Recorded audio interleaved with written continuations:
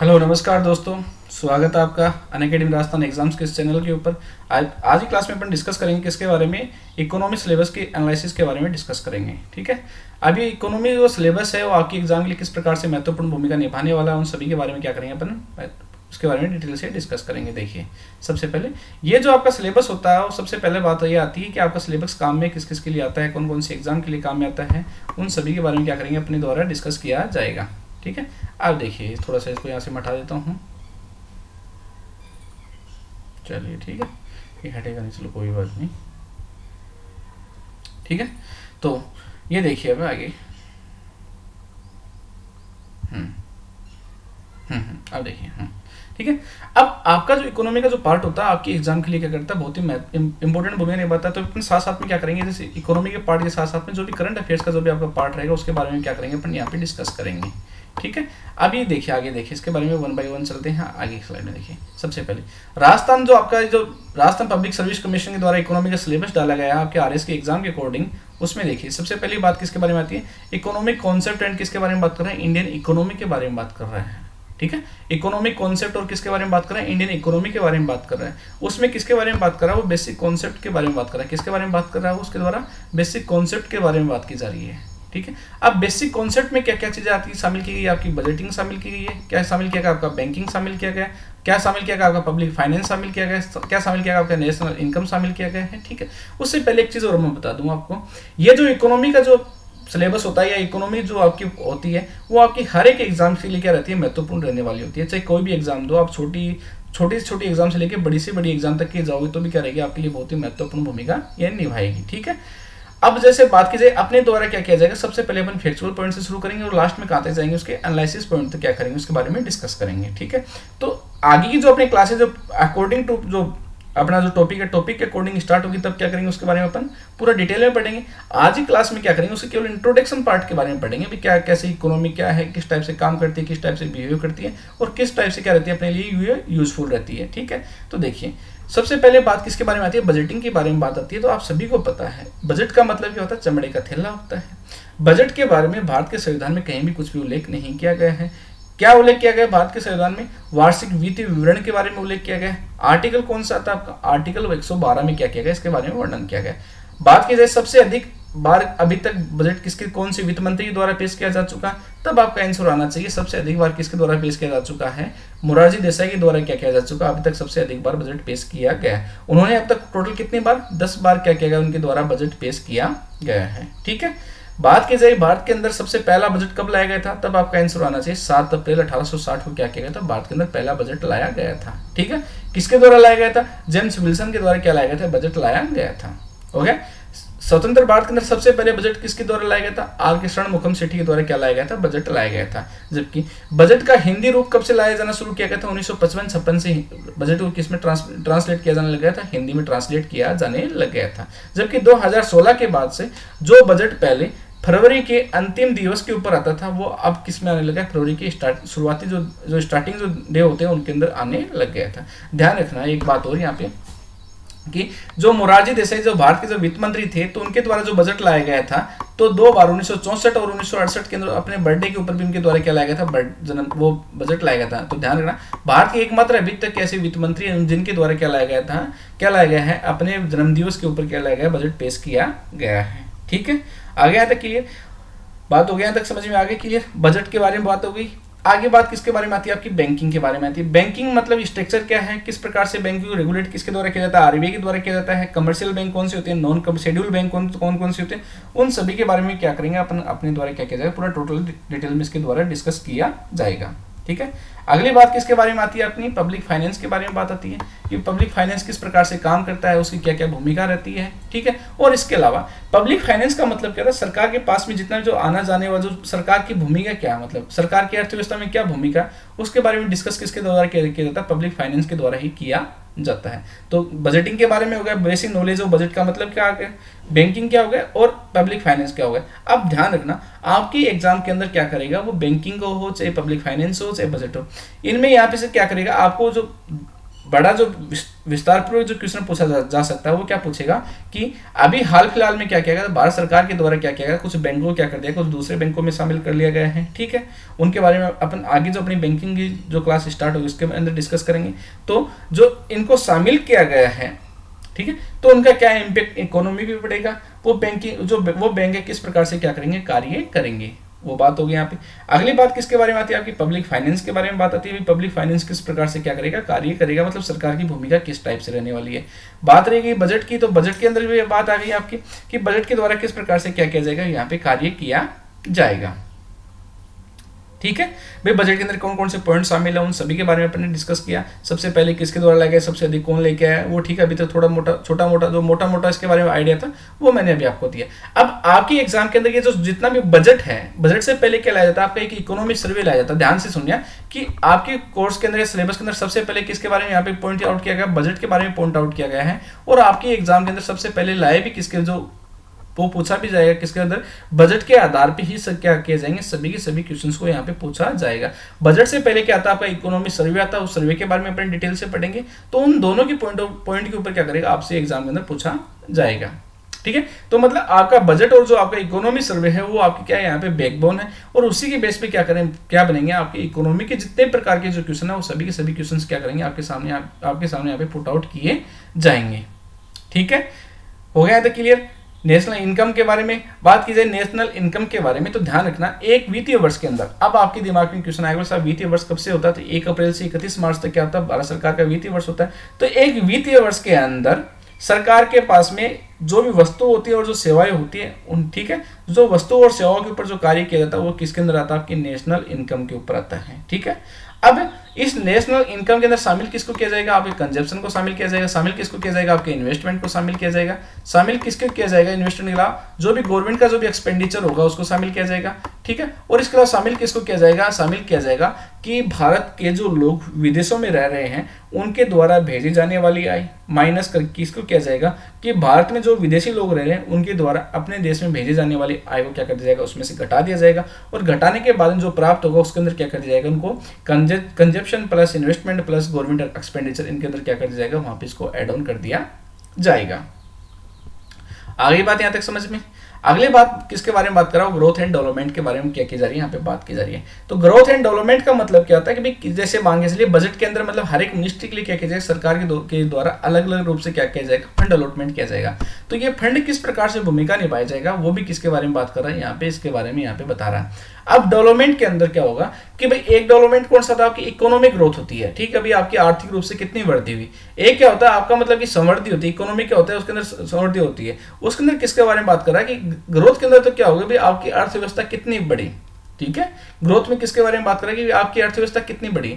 जबकि बात की जाए डेवलपमेंट के अंदर बात की जाए तो आपकी सोसाइटी कितनी ग्रोथ की है? सोसाइटी में रहने वाले लोगों के पास कितना उनके पास में कितना क्या, पूरा उनके द्वारा कितना ग्रोथ की गई है? और जो सोसाइटी है सोसाइटी के द्वारा और होल डेवलपमेंट कितना हुआ वो सभी की सभी चीज़ें किसके अंदर आएँगी? आपकी ग्रोथ एंड डेवलपमेंट के अंदर वो आएँगे। उनके अंदर क्या क्या डिफरेंस है?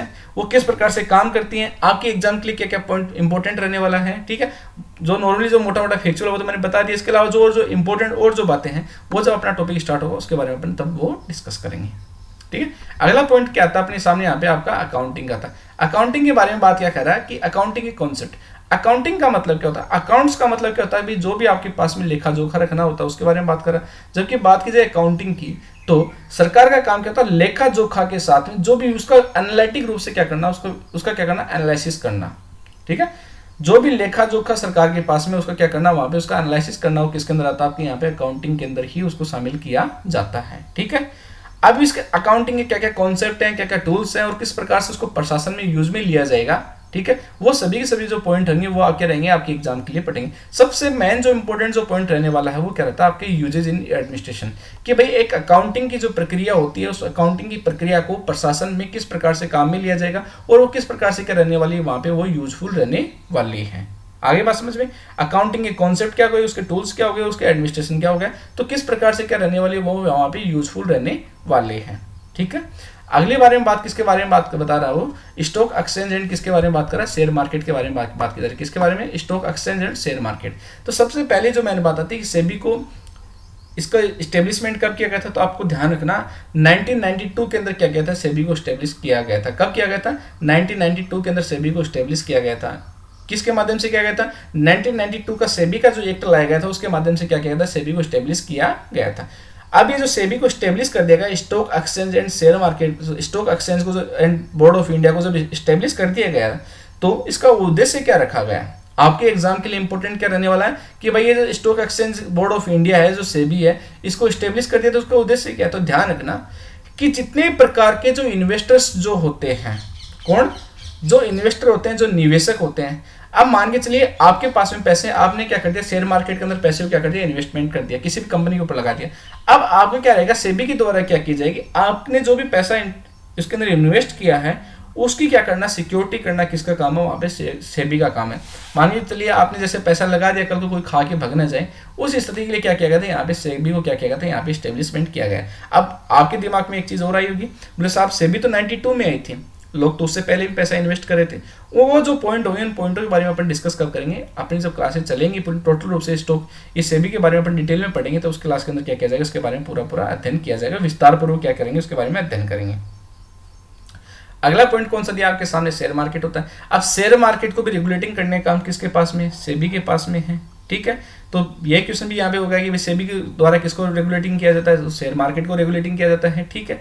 अब शेयर मार्केट के अंदर क्या रखा जाता है? कि जितने भी लोग होते हैं मतलब भाई कितने भी लोग मांगे, चलिए जितने भी इसके अंदर इन्वेस्टर होते हैं, उन इन्वेस्टर के द्वारा किसी प्रकार की धोखाधड़ी का कार्य नहीं किया जा रहा हो, उस स्थिति में क्या किया जाता है, ये सेबी क्या करती है, उसके वहाँ पर रेगुलेटिंग करने का काम करती है। एक तरह से कहा जाए तो अर्ध नियामक क्या है, ये प्रक्रिया है क्या है एक तरह से संस्था किस टाइप की संस्था से भी अर्ध नियामक प्रक्रिया है। सॉरी अर्ध नियामक टाइप की क्या है एक संस्था है, ठीक है? और बाकी मतलब इसके बारे में जो डिटेल होगा मतलब क्या क्या काम होते हैं शेयर मार्केट में कौन, कितने टोटल कितने यहाँ पे शेयर मार्केट हैं, कौन सा सबसे बड़ा है? जैसे बी की बात हो गई एन की बात हो गई, ठीक है? Bombay stock exchange national stock exchange ठीक है? अहमदाबाद के अंदर जितने भी जो इसका स्टेब्लिश किया गया, उन सभी के बारे में भी क्या करेंगे, अपन डिटेल में पढ़ेंगे। वो किस अंदर पढ़ेंगे, अपनी अगली क्लास के अंदर क्या किया जाएगा, उसके बारे में विस्तार पूर्वक चर्चा की जाएगी। ठीक है? अगले बारे में बात की, क्या की जा रही है यहाँ पे? अगला पॉइंट कौन सा आपके सामने यहाँ पे? अगला है आपके, ठीक है? फ़िज़िकल एंड मॉनिटरी पॉलिसी देखिए, सबसे पहला पॉइंट आपके सामने क्या आता है कि फ़िज़िकल पॉलिसी को रेगुलेट किसके द्वारा किया जाता है? सबसे पहला जो आपके क्वेश्चन पूछेगा तो आपका आंसर क्या आएगा? आरबीआई अब आरबीआई ही फ़िज़िकल पॉलिसी क्यों करती है? सॉरी फ़िज़िकल पॉलिसी को रेगुलेट किसके द्वारा किया जाता है? सरकार के द्वारा किया जाता है। सॉरी माफ़ी चाहता हूँ, मैं राज फ़िज़िकल का मतलब क्या होता है? राजकोषीय नीति। रेगुलेट कौन करेगा आपकी? सरकार करेगी। सरकार क्यों करेगी? फिर क्योंकि ये क्या करेगी? पूरा पूरा क्या होगा? सरकार के जो कोस्ट के ऊपर क्या करती है? निर्भर करती है। सरकार का जो भी अकाउंट अकाउंट के ऊपर क्या करती है? निर्भर करती है। इसलिए किसके द्वारा रेगुलेट किया जाएगा इसको? सरकार के द्वारा किया जाएगा, ठीक है? भारत सरकार के द्वारा क्या किया जाता है? फ़िज़िकल पॉलिसी को वहाँ पे रेगुलेट किया जाएगा। अगला साथ में क्या देखा? आपकी मॉनेटरी पॉलिसी है। तो मॉनेटरी पॉलिसी को रेगुलेट करने का काम किसके पास दिया गया है? आपके आरबीआई के पास दिया गया है। ठीक है? अब इस मॉनेटरी पॉलिसी को कंट्रोल करने के लिए क्या क्या एक मॉनेटरी पॉलिसी कमेटी बनाई गई जिसको क्या बोलते हैं? एमपीसी बोलते हैं। अब ये जो मॉनेटरी पॉलिसी जो कमेटी होती है ठीक है? आरबीआई के पास में आती है। वो किस किस को कंट्रोल करती है? वो आपकी रिवर्स रेट को करती है, आपकी रेपो रिवर्स रेट को करती है। ठीक है? रेपो रेट को रिवर्स रेपो रेट को, आपके ठीक है सीआरआर को केस रिज़र्व रेशियो कंट्रोल करती है। ठीक है? आपकी बैंक रेट को होती है। उन सभी को डिसाइड करने का काम किसके द्वारा किया जाता है? मॉनिटरी पॉलिसी कमेटी के द्वारा किया जाता है। और मॉनिटरी पॉलिसी कमेटी किसका पार्ट है मॉनिटरी पॉलिसी का पार्ट है। और मॉनिटरी पॉलिसी रेगुलेट किसके द्वारा की जाती है? वो आपका आ जाएगा। किसके द्वारा की रेगुलेट की जाती है? आपके आरबीआई के द्वारा क्या की जाती है? मॉनिटरी पॉलिसी को रेगुलेट किया जाता है। ठीक है? तो फ़िज़िकल एंड मॉनिटरी पॉलिसी के बारे में बात की अपन। तो इनके द्वारा किस किस को क्या, किया जाता है? यहाँ पे रेगुलेट करने का कार्य किया जाता है। अगला किसके बारे में बात कर करा वो सब्सिडी के बारे में बात कर करा तो सब्सिडी का मतलब ये होता है कि सरकार के द्वारा सामाजिक रूप से दी जाने वाली और सरकार के द्वारा किसानों के लिए जो भी कृषि कृषि लागत के आधार पर दी जाने वाली सब्सिडी हो, उनके बारे में क्या किया गया यहाँ पे वर्णन किया गया है। ठीक है? अब जैसे आपने सुना होगा कि बहुत सारे जो गाँव के अंदर सरपंच होते हैं और जो लोग होते हैं वो क्या करते हैं? सब्सिडी स्टार्ट तो करवा लेते हैं मतलब सरकार की तरफ़ से, लेकिन क्या करते हैं? वो उसका मिसयूज करते हैं। तो सरकार के द्वारा एक योजना शुरू की गई थी, पहल योजना। कौन सी योजना शुरू की गई थी? सरकार के द्वारा यहाँ पे एक पहल योजना शुरू की गई थी। इस पहल योजना के माध्यम से क्या किया था? उन लोगों के मोटिवेट किया गया था भाई, जो सरकार, जो लोगों ले रखे भाई, आप इस योजना का क्या काम में लोगे? बाकी जो गरीब जो लोग हैं, जिसको आवश्यकता है, उन लोगों के लिए क्या करवाया जाए? इसके उपलब्ध करवाया जाना चाहिए, ठीक है? तो सब्सिडी कितने प्रकार की होती है? कहाँ कहाँ, कौन कौन सेक्टर में कौन कौन सरकारी द्वारा कौन कौन सब्सिडी दी गई है, ठीक है? उन सभी के बारे में क्या करेंगे? अपन अपने से टॉपिक के बारे में आगे क्लास में अंदर इसके बारे में डिटेल से पढ़ेंगे। अगला किसके बारे में बात कर रहा है? पब्लिक डिस्ट्रीब्यूशन सिस्टम के बारे में पीडीएस के बारे में, जो भी आपको जहाँ से आपने देखा होगा, राशन की दुकानें हर गाँव गली मोहल्ले के अंदर मिल जाती हैं। तो वहाँ पे जो राशन की दुकानें हैं, उनके द्वारा क्या की गई थी? प्रक्रिया की गई थी। तो सबसे पहले, और सबसे अच्छा जो पब्लिक डिस्ट्रीब्यूशन सिस्टम वो किसका है? छत्तीसगढ़ का है। और सबसे पहले शुरुआत भी किसके अंदर की गई थी? वहाँ पे छत्तीसगढ़ के द्वारा क्या की गई थी? शुरुआत की गई थी। ठीक है? अब इसके अंदर जो भी आपको मतलब कि जैसे गेहूँ दिया जाता है, दो किलो, चार किलो, पाँच किलो गेहूँ दिया जा रहा है, चावल दिया जा रहा है, उन सभी के बारे में क्या करेंगे? अपन आगे क्लास के अंदर डिस्कस करेंगे। अगला पॉइंट कौन सा था? अपना ई कॉमर्स का होता है, ठीक है? अगला पॉइंट कौन सा है अपना ई कॉमर्स का होता है। तो ई कॉमर्स का जो पॉइंट आता है ई कॉमर्स के पॉइंट में एक चीज़ ध्यान रखना है यहाँ पे कि जितनी प्रकार की ऑनलाइन जो भी मतलब मतलब कि आपके द्वारा पेमेंट मान लीजिए, किसी प्रकार की खरीदारी की जा रही है, किसी प्रकार से बेचना जा रहा है, बेचा जा रहा है, वो सब का सब क्या आ गया आपका ई कॉमर्स में आ गया। जैसे मान के चलिए अपने द्वारा भी जैसे क्लासेस ली जा रही हैं, आप क्या करोगे? क्लासेस ले रहे हो, आपको क्लासेस पसंद आएगी, उसके बाद में क्या करोगे? आप कोर्स को खरीदोगे। वो भी किसका पार्ट होगा? एक तरह से ई कॉमर्स का पार्ट हो गया, ठीक है? वो सब के सब किसका पार्ट होगा आपका? ई कॉमर्स का पार्ट होगा और उसी के द्वारा क्या किया जाएगा? यहाँ पे कार्य किया जाएगा। अगले बारे में बात किसके बारे में कर रहा है? इन्फ्लेशन के बारे में बात कर रहा है। इन्फ्लेशन का मतलब है इन्फ्लेशन का मतलब मुद्रा स्फीति है। वो किस प्रकार से बाज़ार को प्रभावित करती है, ठीक है? और उसको बढ़ जाएगी तो बेरोजगारी कम होगी या ज़्यादा होगी। इन्फ्लेशन इन्फ्लेशन यदि कम हो तो इस स्थिति में क्या रहेगा? बाज़ार की स्थिति कैसी रहेगी? तो उसके क्या क्या कॉन्सेप्ट है क्या क्या इंपैक्ट रहने वाले हैं? और उसको कंट्रोल करने का तरीका क्या क्या उसकी मशीनरी क्या है? उसका मेकेनिज्म क्या है? उन सभी के बारे में क्या किया जाएगा? अपने द्वारा यहाँ पे डिस्कस किया जाएगा। तो ये बात किसकी होगी? अपने यहाँ पे इन्फ्लेशन के बारे में बात हो गई। ठीक है? तो किसके बारे में बात की अपने अभी? फ़िज़िकल पॉलिसी के बारे में बात की अपने मॉनेटरी पॉलिसी के बारे में बात की अपने सब्सिडी के बारे में बात की अपने अपने ई कॉमर्स सिस्टम के बारे में बात की अपने पीडीएस सिस्टम के बारे में बात की इन्फ्लेशन के बारे में बात की कि इन्फ्लेशन किस प्रकार से क्या करती है, प्रभावित होती है, उसके क्या क्या कॉन्सेप्ट है और उस किस प्रकार से उसका इम्पेक्ट होता है, उसका कंट्रोल करने का मैकेनिज्म किस प्रकार का उसके बारे में भी अपन ने क्या किया, यहाँ पे बात की। हो गया था क्लियर ठीक है, जो भी डाउट हो, अपनी क्लासेस स्टार्ट होंगी तो उसमें के अंदर क्या कर सकते हो, आप अपने डाउट को पूरा पुटअप कर सकते हो। अभी तो केवल इतना बताया जा रहा है कि सिलेबस के अंदर क्या क्या है और अपने द्वारा किस प्रकार से पढ़ा जाएगा और कौन कौन सी चीज़ें रहेंगी और मैं क्या क्या करवाने वाला हूँ, ठीक है? अगला अपने सामने सबसे इंपॉर्टेंट आता है, क्या आता है इकोनॉमिक डेवलपमेंट एंड प्लानिंग आता है। सॉरी एक मिनट देखिए ये देखिए। अगला कौन सा था अपना? इकोनॉमिक डेवलपमेंट एंड प्लानिंग करता है, ठीक है? अब इस प्लानिंग में क्या दिया गया? किसके बारे में बात करा? फाइव ईयर प्लान के बारे में बात करा। किसके बारे में बात करा? वो फाइव ईयर प्लान के बारे में बात करा। तो आप सभी को पता है फाइव ईयर प्लान लाया किसके द्वारा गया था? योजनाएँ के द्वारा लाया गया था। कब स्टेब्लिश किया गया था योजना को? फिफ्टी में स्टेब्लिश किया गया था। कौन इसका अध्यक्ष होता है? प्राइम मिनिस्टर इसका अध्यक्ष होता है। प्राइम मिनिस्टर के द्वारा क्या किया जाता था? एक वाइस प्रेसिडेंट किया जाता था, वो कौन होता था? कोई भी एक व्यक्ति होता था, ठीक है? अब फाइव ईयर प्लान कितने चले थे? टोटल बारह तो फाइव ईयर प्लान क्या होते पूरे पाँच पाँच साल चले थे। जबकि तीन बार टाइम ऐसा आया था कि उन, वहाँ पे क्या किया गया था? बीच में लीक लिया गया था या गेप लिया गया था, ठीक है? वो टाइम कब कब आया था? सिक्सटी से लेके कब आया था? सिक्सटी तक आया था। सेवेंटी से लेके कब आया था? एटी तक आया था। दूसरा कब आया था? नाइन्टी से लेके कब आया था? एटी से लेके कब आया था? नाइन्टी तक आया था, ठीक है? उस स्थिति में क्या किया गया था? फाइव ईयर प्लान के बीच में वो गैप आया था, ठीक है? इसके अलावा ये जो फाइव ईयर प्लान था, इसका ऑब्जेक्ट क्या क्या रखा गया था? ऑब्जेक्ट क्या रखा गया था? समाज के अंदर मतलब हर एक फाइव ईयर प्लान के अंदर क्या होते थे? ऑब्जेक्ट चेंज होते थे, ठीक है? और वहाँ पे ऑब्जेक्ट चेंज चेंज होते थे, उसके साथ में क्या रहते थे? वहाँ पे विभिन्न प्रकार के मॉडल भी काम में लिए जाते थे, ठीक है? इसकी स्ट्रेटेजी क्या रही थी? भाई, इसका स्ट्रेटेजी रखने का कारण क्या था? भाई टोटल रूप से क्या किया जाता है? भारत के अंदर क्या किया जाता है? सामाजिक रूप से समाज की क्या की जाए ओवरऑल ओवरऑल क्या की जाए ग्रोथ करने की यहाँ पे बात की थी। अचीवमेंट क्या क्या प्राप्त हुए थे, ठीक है? जैसे भारत ने क्या होता जैसे हरित क्रांति लाने के बाद में क्या होता, भारत खाद्यान्न के मामले में आत्मनिर्भर बन गया था, भारत ऊर्जा के क्षेत्र में आत्मनिर्भर बन गया था। तो उन सभी के बारे में क्या करेंगे, जो भी अचीवमेंट्स प्राप्त हुई क्या क्या ऑब्जेक्ट थे क्या क्या इनकी स्ट्रेटेजी थी, इनको रेगुलेट करने वाली अथॉरिटी कौन सी थी, वर्तमान समय में इनका क्या सीनेरियो है, उन सभी के बारे में क्या करेंगे, अपन क्लास के अंदर डिस्कस करेंगे। अगला किसके बारे में बात कर रहा है? वो मेजर सेक्टर ऑफ़ इकोनॉमी के बारे में बात कर रहा है। किसके बारे में बात कर रहा है? मेजर सेक्टर ऑफ़ इकोनॉमी के बारे में बात कर रहा है। इस इकोनॉमिक सेक्टर में कौन कौन से सेक्टर के बारे में बात कर रहा है? एग्रीकल्चर के सेक्टर के बारे में बात कर रहा है। एग्रीकल्चर के अंदर क्या रखा है? जैसे सरकार का अभी टारगेट रखा गया है तो कि क्या किया गया है कि 2022 तक किसानों की आय क्या करना है? दुगुना करना है। क्या सरकार के द्वारा क्या टारगेट रखा गया है? कि 2022 तक किसानों की आय को दुगुना करने के लिए इंडस्ट्री के अंदर ग्रोथ करने के लिए सरकार के द्वारा क्या रखा गया टारगेट रखा गया हमें क्या किया जाएगा, उद्योगों के अंदर भी क्या करना है, इसके अंदर उनको भी बढ़ोतरी करने के लिए क्या किया जाना है, यहाँ पे कार्य करना है। सर्विस सर्विस सेक्टर के अंदर क्या क्या, किस प्रकार से इफ़ेक्ट पड़ने वाले हैं, वो। लेकिन सबसे इंपॉर्टेंट जो आपके सामने आने वाला वो ट्रेड सेक्टर आने वाला कि सरकार के द्वारा जो भी ट्रेड सेक्टर है, उसके अंदर किस प्रकार से कार्य किया जा रहा है। जैसे अभी अगर आपने हाल फ़िलहाल पढ़ा होगा तो चाइना के साथ और ईरान के साथ में जो भारत का जो इस, में जो इश्यू चल रहा है, उस स्थिति में भारत के क्या हुआ ट्रेड सेक्टर क्या हुआ, बहुत ज़्यादा, बहुत क्या हुआ, प्रभावित हुआ है। अब ये जो प्रभावित हुआ, उस स्थिति में उसका करंट स्टेटस क्या रहने वाला है? उसके इश्यू क्या क्या रहने वाले हैं? और इनिशिएटिव क्या क्या लिए जाएँगे? ठीक है? ट्रेड सेक्टर के बारे में बात की, अपन करंट स्टेटस क्या रहने वाला उसके इश्यू क्या क्या और इनिशिएटिव क्या क्या अब करंट स्टेटस के बारे में बात की तो भारत सरकार के द्वारा जितने दुनिया भर के जितने भी देश होते हैं, उनके साथ में किस टाइप से क्या किया जा रहा है, व्यापार किया जा रहा है। अब जब व्यापार हो रहा है तो उस व्यापार में क्या क्या इश्यू आ रहे हैं, उनके बारे में बात की जा रही है। जब वो इश्यू आ रहे हैं तो उनको सोल्व करने के लिए सरकार के द्वारा क्या क्या इनिशिएटिव लिए गए थे, उन सभी के बारे में क्या की जाएगी? यहाँ पे बात की जाएगी। तो ट्रेड सेक्टर में आगे कौन कौन सा आपका? करंट स्टेटस के बारे में बात आ गई आपकी इश्यू के बारे में बात आ गई बात किसके बारे में आ गई आपके यहाँ पे इनिशिएटिव क्या क्या लिए जा रहे हैं, उसके बारे में क्या की गई, यहाँ पे बात की गई है। तो इकोनॉमिक डेवलपमेंट एंड प्लानिंग के किस किस क्या क्या पॉइंट आया यहाँ पे? आपका फाइव ईयर प्लान आया, क्या आपका? यहाँ पे ऑब्जेक्टिव आया, क्या आया आपके यहाँ पे मेजर सेक्टर ऑफ़ इकोनॉमी आया आपके यहाँ पे?